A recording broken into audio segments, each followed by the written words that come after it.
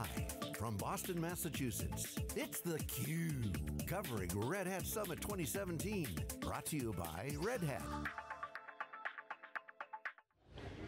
Welcome back to Boston, everybody. This is Red Hat Summit, and this is theCUBE, the leader in live tech coverage. I'm Dave Vellante with my co-host Stu Miniman, and Matt Hicks is here as the Vice President of Software Engineering for OpenShift and Management at Red Hat. Matt, welcome to theCUBE. Thank you very much, good to be here. So this is where all the action is, and this is management, and management of clouds, and interclouds, and intra-clouds, and it's the sort of next big battleground, and you guys seem to be doing really well there, have a lot of momentum. It's been a good, it's been a good year. I think it's going to be a great year going forward, because it, it, it adds a lot of customer value. You know, they're seeing the drive to get applications across all these environments, and I think we've hit a good balance of what we can provide in OpenShift, our middleware portfolio management, and you hear a lot of customers talking about it uh, all through Summit. So. Well, we saw some pretty sick demos this morning. Yeah. it, well, I mean, I got to ask you. So I saw, it was basically the reference model was, okay, you got some WebLogic and WebSphere apps, yep. you know, wink, wink, and uh, you want to modernize them. And so yeah. you guys showed like a five-click modernization process. Yeah. Is it, is it really that simple? Are people really, really doing that? Yeah, we, we have customers that have moved thousands of applications like that, and, and they're all different sorts of applications, but going from a proprietary EE stack to getting on something closer to EAP to deploying it on OpenShift, that is our bread and butter. And it's great because EAP can take advantage of OpenShift. Uh, it lets customers replatform the apps that they have. And like we said in the keynote, it sort of frees up your time then to start building the fun stuff, building the next apps. And um, yeah, we've had a ton of success with that. Yeah. Matt, so we had the opportunity to talk to some of the Innovation Award winners. What we haven't actually gotten to cover too much yet is all the news. So there were a number of announcements in your space. Wonder if you could help us kind of unpack that for our audience. Sure thing, yeah. so we, yeah, you will hear a lot about the just the enterprise production adoption of the new technologies because one of the things for us, it's, it's easy to come up and talk about new technologies. We like actually bringing customers up that have taken that new technology to production. So that's one of the big themes you'll see here at Summit. We launched OpenShift I.O., which for us, like we've had great success of OpenShift as a hybrid app platform in prod, but as you heard from United Health Group Optum this morning, they have 10,000 plus developers to roll that out to, and we knew we needed to close the gap on how do you empower developers. So OpenShift IO was the new cloud-based services um, for that. We will also announce and talk about our container health index. So when you start really making the bet on containers, how do you how do you know it's inside of them? How do you get a simple grading system to understand like A through F? Uh, how well maintained is this? As well as being able to look under the covers and understand what goes into that A or what goes into that yeah, F. And, and Matt, maybe explain that a little bit more because I, I, think about like, you know, okay, I remember in like kind of the virtualization world, yeah. I understood that so many of containers uh, live a lot shorter life. So yeah. um, is there, you know, is this just a, a, dashboard that rolls that up? Because I want to know probably the general health of what's going on because mm -hmm. there's no way humans going to be able to keep track of it. I mean, we're not all Google with two billion containers, uh, yeah. uh, you know, being brought up and killed every week, but it tends to be, at least for, from what I've seen, tell me if you see otherwise, that most containers are still much shorter lived than, you know, OSs or, you know, VMs were before. You know, I, I think that's it's one of the advantages is that they can be pretty volatile like that. In fact, you know, we have capabilities like in OpenShift, like image streams driven to say, how do you respond and incorporate this? But at the end of the day, if you, know, you could grab a container that in our world has an A rating, no security vulnerabilities today, and in a week, you could have multiple critical CVEs that have been opened that now affect that container. And so the benefit of containers is you can re-roll them and you can consume that update, but if you don't know about it and you stay on that old version, you carry the same risk as if you had an out-of-date OS um, that was very static. Yeah, I th think that, that answers, I, I, think back to, you know, uh, you know, banks used to have that golden image, yeah. and they would, you know, harden that, and they'd leave it that way for two to five years, right? Yep. And we, yeah. we all laugh because my, my friends in the security space, it's like that's the biggest problem we have is you're yep. not ready for that. So this is understanding what you've got out there, being able yep. to address that, remediate, uh, you know, push out changes, or know like, hey, if you haven't, this is the, what you're at risk of. Absolutely, and that creates, for us, it creates this foundation of both trust between our customers and Red Hat, what they're consuming, but then also between Red Hat and our ISVs, because most of our ISVs, they're not in the Linux business, or they're building specialized middleware capabilities on our products. So it's equally important for them to understand that if they're on an out-of-date version of RHEL,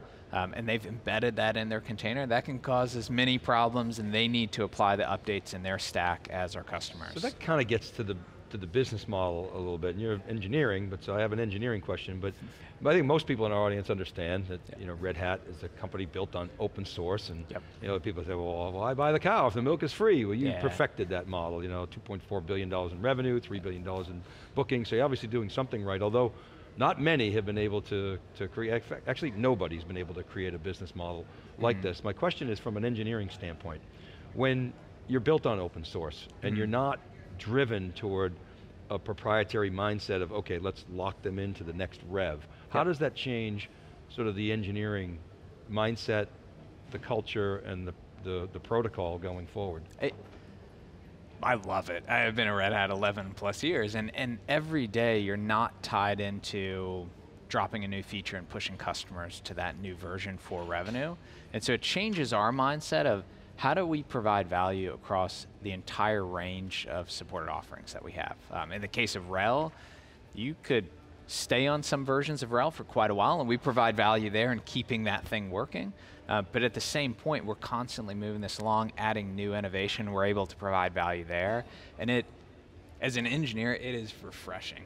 sorry. Uh, That's okay, so, so I'll, I'll, I'll, chat for a minute. So you, uh, you know, you, a lot of companies that are 20 plus years old are criticized. Well, they, they don't innovate. Uh, mm -hmm. You hear that all the time. They, they do incremental R&D. And it's, and, and it's true, they may spend a lot on R&D, but R&D is like a feature here or another feature there, and designed to just keep putting the crumbs out. And yep. what, what, you're saying is incrementalism is not really fundamental part of your, your plan. Absolutely, we can, you know, we want to provide the same value for a customer if they're on RHEL 6 or they're looking towards the next major version of RHEL, and they can move anywhere on that life cycle, and that's what they get as part of their subscription. Same thing with with OpenShift. And that choice of customers of being able to take a product, consume anywhere on the life cycle of it, it's good for customers and it's nice for us because they're just different ways that you innovate of driving like the next new great feature then you have other customers that you are going to provide value through stability so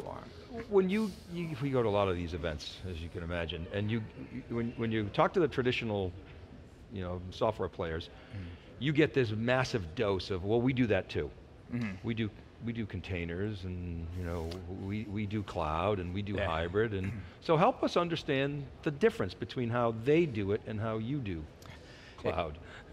I think for us, if we picked containers, you know, every I was talking to a group of customers this morning of every upstream technology we pick that we're going to pull together into our products, we don't just pick them up and repackage them and give them to a customer because we're a sport business. So if it breaks at 3 a.m., and I have to re-roll a kernel to be able to fix it, I need to understand every piece in the stack. So we start with, we're going to drive a contributor position in the technology. We, we pick our bets and we go all in on those areas. So Kubernetes will carry, uh, you know, with Google as you know, great technical partner, we run the majority of the SIGs with them. We have a top contributor position in it. We invest really heavily in understanding the technology inside and out. And I think that's what shows in the customer value of we could certainly take stuff, repackage it, and ship it. It doesn't carry the same value as being able to work with a customer, drive new features into the product, and and keep them running in prod. Yeah, Matt, so you, mentioned Kubernetes, and I was actually a little surprised this morning in the keynote, I didn't hear Kubernetes. And I think the reason was because I heard a lot about OpenShift, and that's just your mechanism for rolling that out there. Yes, Do your, uh, I'm assuming your customers uh, kind of understand that. Maybe you could help yeah. you know, explain that a little bit more. absolutely, so OpenShift is our enterprise sure. distribution of Kubernetes, and that's sort of the business we're in. We have Linux, and mm. RHEL is our enterprise distribution mm. of that. Uh, we now have Kubernetes is a really popular community. OpenShift is our distribution of that. And yeah, for our customers. I, I was just saying, I guess you couldn't call it REC, which Red Hat Enterprise Kubernetes yeah. probably wouldn't be a good World acronym. World changes too fast. Yeah, yeah. We picked names a long time ago. Yeah. But it's a nice model because we're, we know it. It's what we've done for a long time. And it builds on everything we've done with RHEL and it connects our middleware portfolio as well. So I'm a, I've been on the ops side and I've been on the development side, and I, I love seeing us address stuff right in the gap there for customers. And I think that's why we're seeing so much customer traction is uh, it's a sweet spot for where they've had pain and adds a lot of value for them. Yeah. Could, could, you speak a little bit to your customers? Where are they with containers, Kubernetes, uh, that, that, that whole adoption?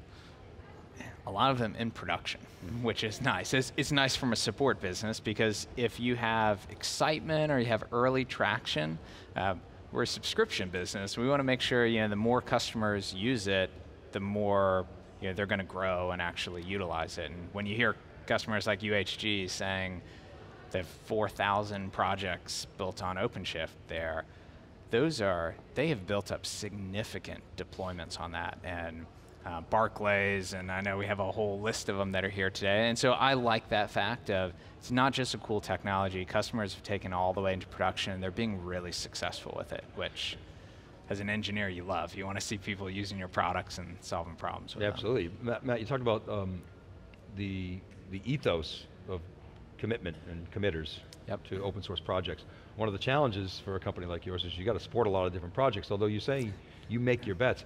Yeah. We've talked a lot about, okay, will there ever be another Red Hat that emerges in the big data space? You see Cloudera and Hortonworks, and they're always sort of mm -hmm. looking at those guys and as a possibility, but they always cite the challenge of having to support so many projects. Yeah. How do you manage that, and did you, you've been with Red Hat for a while, did you hit a tipping point at, at some point? Because you're, I mean, certainly you have software margins, 80, 90% you know, margins, you got great mm -hmm. operating you know, margins, so you've, yeah. you've, you've crossed that chasm, so to speak, to pick a mm-hmm. bromide, but Others have had such a challenge. Is it because they have to, they have to support those projects and it just takes a long time and you guys baked over 20 years. I wonder if you could give us some insight there. You know, I think it's it's as much art as it is science. I would love to say hmm. like this is a uh, you know cold formula that we apply, but we have a good gut feeling for if you're going to back a technology or an upstream project, you want to make sure that it's going to expand beyond your own investment. And we've certainly made a lot of wrong bets that the technology doesn't evolve, but you've got to be able to change. And when we see some of the early indicators like in Kubernetes, those are the ones where we like how it's governed, we like how it's structured, we like the other players that are in there. Mm-hmm. And that's just been one of the unique aspects of Red Hat is we, we pick pretty well. hey, time, let's hang so out. Yeah, and code. yeah. so, so, Matt, uh, I'm, I'm, wondering if, if, if, you're willing to comment. We were at DockerCon a couple of weeks ago. They've done a shift to how they're managing, kind of put mm the Moby project to do the open source stuff. Mm uh, what, what's your take on that? You know, what what Red Hat positioning there? It's been uh, an interesting dynamic between Docker and Red Hat to watch the last couple of years. Yeah, you know, I think Moby for us, it's one of it's about 1,600 different upstream projects that yeah. we pull in across our portfolio. And sure. so we're certainly watching it and we're seeing that evolve. We've been involved with the technology for a while now, but, but we don't necessarily know where that's going to go right now. But um, we certainly look at it like we do you know, the whole breadth of, of open source projects we pull in. What else is on your horizon? What are you, what's exciting you these days?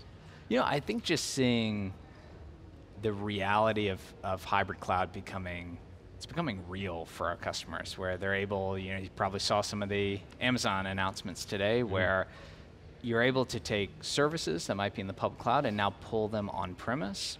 You heard customers talk about taking OpenShift and running that all the way out to the public cloud.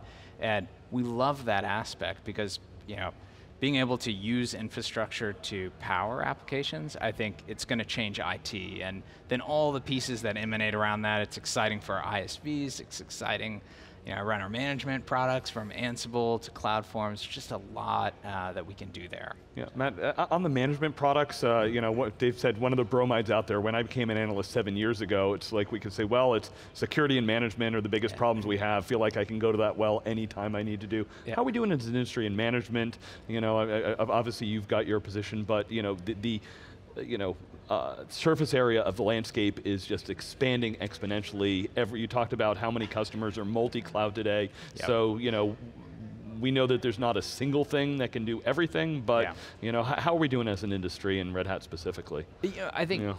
from Red Hat's position, we've had we've had a lot of success with Ansible just becoming a core automation technology because I think the one common thread is you have so many choices, you have so many pieces, you have to start automating them. How, how we did IT 15 years ago just will not, it won't scale anymore. Uh, I think building up from that stack, how you move to policy-based management, that's earlier in the space, but there is a ton of capabilities, and we've seen customers using, you know, from our perspective, it's combining CloudForms on orchestration and satellite for content, Ansible for automation, because I describe so I have the operational teams that run our OpenShift Online environments. That's a a relatively small group of people that manages millions of applications, and they change faster than a human could push a button.